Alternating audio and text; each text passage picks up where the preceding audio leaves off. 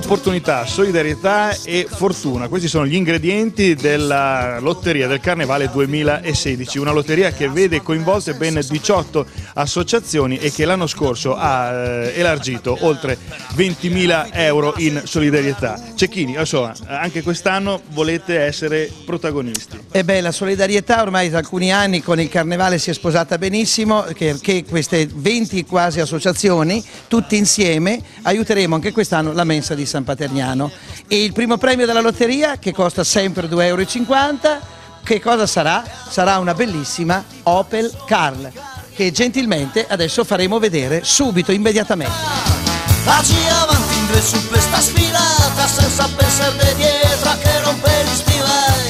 Allora, insomma, è una lotteria, quella legata al carnevale, che ha anche un significato insomma, intrinseco di altissimo valore. Beh, ci si diverte di più sicuramente se abbiamo tutti a mente questo sforzo che la carnevalesca, le associazioni fanno per far sentire coinvolti in un momento di allegria anche quelli che hanno più bisogno.